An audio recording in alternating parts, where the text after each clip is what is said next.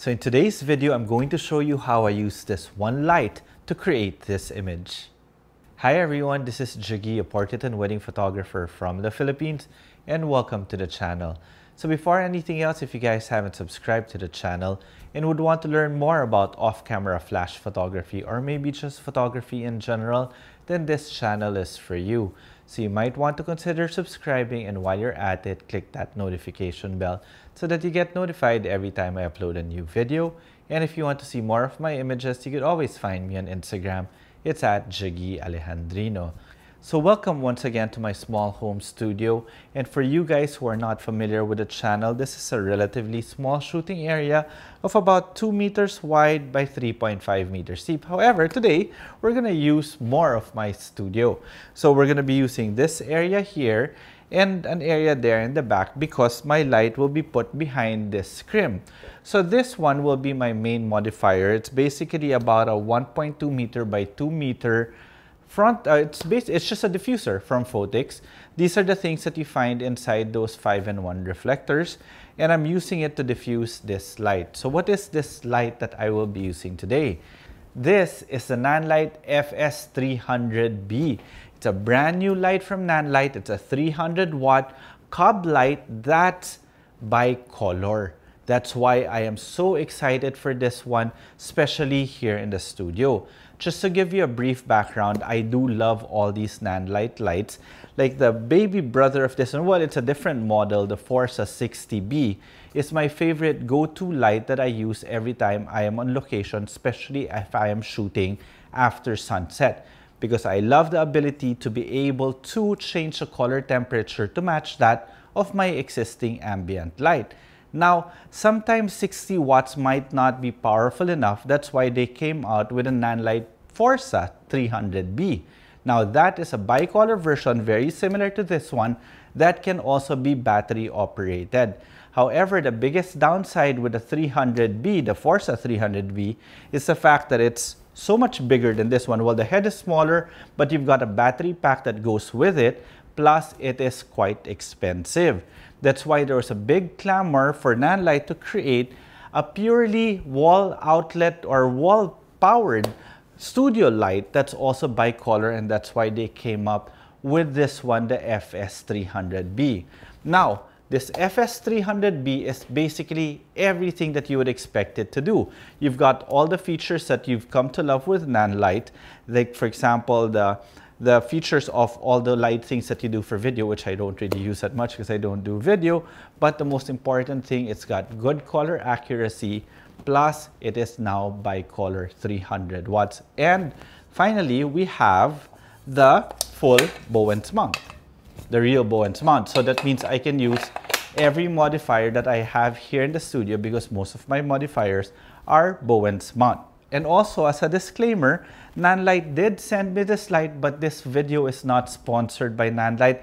I just love their products. That's why I'm so thankful that they actually sent this unit in advance for me to actually test out. So thank you very much, Nanlite, for that. But of course, you guys don't have any control with what I'm gonna be, what I'm gonna be saying about this light. So while I was editing this video, I realized that I missed out on a very important feature that's inherent in the FS series of the Nanlite lights. These FS series are actually built for studio photographers. And why is that? Look at the LED. Do you see how wide apart they are? Therefore, it creates a very big point source or a light source. And by doing that, they are able to create softer shadows than that of their Forza series. That's why this was really built for studio photographers. Now, I will be making a really detailed side-by-side -side comparison between the Forza series and the FS series in another video, maybe right after this one. So if you guys want to watch that, make sure to subscribe to the channel. So how do I use this light and why do I love it so much? Well, I love what we call practical lighting. In other words, I want to be able to match my light to the existing ambient light whenever I am shooting, whether it be here in the studio or on location. Sometimes I may be in a restaurant that's ha that has a lot of ambient light that I would want to use, but the color temperature I cannot change. That's why it's essential that I have a light that I can change my color temperature to match that of the existing ambient light. That's what I used to do with my 60B, but there are some times that I just need a little bit more power and this is perfect and it is very portable. Well, not very portable, but it's portable enough for me to bring it on location so long as I know I can plug it in somewhere. So how am I going to use this today in this particular shoot? Well, I'm going to have my wife Coco sit down here and I will turn on this light which will act like my existing ambient light because the concept of the shoot is that I want her here very dramatic, sipping a cup of coffee and making it seem as if the light was just coming from there. As you guys can see now, the color temperature of this light is about in the 2700, 3200 Kelvin range. Well, I'm just guesstimating because I don't have a light meter to to or a color meter to check the exact color temperature of this one, but I can look at it and visualize more or less if my light is correct. Now, so what I'm going to do now is I'm going to put this light here in the back and I'm going to go and talk about the camera that we will be using for today. So the camera that I will be using is my Sony a7 Mark IV with a 50mm 1.2 GM lens. Now I'm going to be shooting this at 1.2 high up so that I can get a bit of perspective just to get that look that I'm going for because I want to bring in the carpet for you guys to be able to see also the top of the table. Now I use a 50 millimeter so that I can control a bit of the distortion even though I know shooting from above will distort the face a little. In other words, I might make her face look bigger than her body but I think it should be okay. Now, as you guys can see, I actually have my Nanlite set up there and I can control everything remotely using the Nanlite app, which I will turn on now. So here's the Nanlite app. From here, I can just adjust the power temperature that I want or even the color temperature. Now, I'm going to explain later why it's important that this light is bicolor. And of course, as, as what I was saying earlier, you've got some effects mode like for example, the CCT loop, or if you want the candle fire look there, it's like a candle fire, or you've got the welding look, everything that you could think of from all the other Nanlite lights is here, right? And of course, I forgot to mention one of the reasons on why this particular light is so exciting, will be so exciting, which I am assuming to a lot of people is because of the price. I'm sure, I'm pretty sure by the time this video comes out, the price will be released but I am certain that it is not to break the bank. Okay, I don't have the exact prices with me also yet. All right, so now what is my camera set at? Let me see. Am I on manual mode? Therefore, there I'm on manual mode on ISO 100 and at f1.2. Wait, let me see if I'm still recording this. There. I'm on ISO 100 f1.2 1 over 160. So let me turn this one off so you could see what my exposure is. So my exposure is set for that lamp over there. Now the reason why I want it there is so that it gives me the look of practical light. In other words, I want my light to look as if it was just coming from that particular lamp. No other light source is supposed to be in the frame, just that particular lamp, okay? So my white balance, my white balance, I'm assuming that light is more or less in about the 2700 to 3200 range, but I still want it warm because if I put my white balance, let's say for example, on 3200, it's just going to make everything cool and neutral, which I don't want because I want to have that warmth. So I'll set now my white balance to 3400 Kelvin, or sorry, to 4000 Kelvin. There we go. And once that's set, we're good enough, okay? And then I will adjust, adjust the power accordingly to how I see it fit, all right? So with that out of the way, I think it's time for me to call in my wife, Coco, who will be, again, my subject for the day. Come on in, babe. Hi, babe. Hi, babe. Thank you very much again for doing this. And of course, we'd like to thank our friend Mela Jimenez for virtually assisting Coco put on her makeup for today. All right, babe, take a seat. Okay, so you have your coffee mug there? Yes. Oh, there we go. So I want you facing me, but facing out. Does that make sense? Your body facing me, all right? There we go, perfect. Then you face out towards that general direction. So profile, no, not this way, but profile going there. Okay. Oh, that's too much. So can you put your left shoulder towards me? Some more, some more. So you can see here that more or less we're getting the light coming from that same general direction, making it seem as if it came from that particular light. Now, let me show you some things that's actually very important. I'm sorry, babe. Is it okay if I actually explain a few things first before we start shooting? Okay.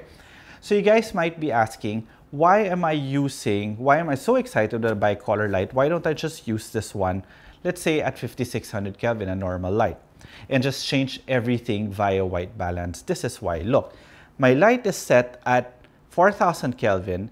If I put my light now at 5600 Kelvin, you will see that the light there is a different color than that of the light hitting my subject's face. Now having that, even if I shift my white balance, since both lights are not the same color temperature, one will be cooler than the other or one will be warmer than the other.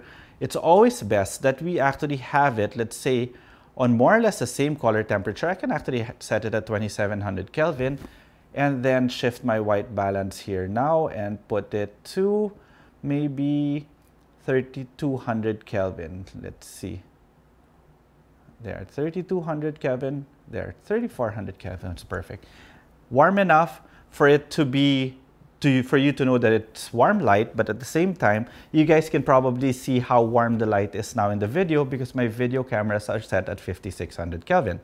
So now, since I've already set my exposure to that light over there, I will now just adjust my light to how I want the mood to be there. Maybe at about 15%. That should be perfect. All right. Okay, babe, let's take one shot. That's very nice. That's beautiful. All right. Oh, you know what? You guys are not seeing it. You're not seeing the settings. Let me turn on HDMI info display so you guys can see it. I turned it off for one of my shoots. There, now you can see and you see how everything's just spot on. Okay, perfect. All right. I love it. Can you lean forward a bit, babe? No, maybe sideways, this way, and then lean forward. Yeah, there we go.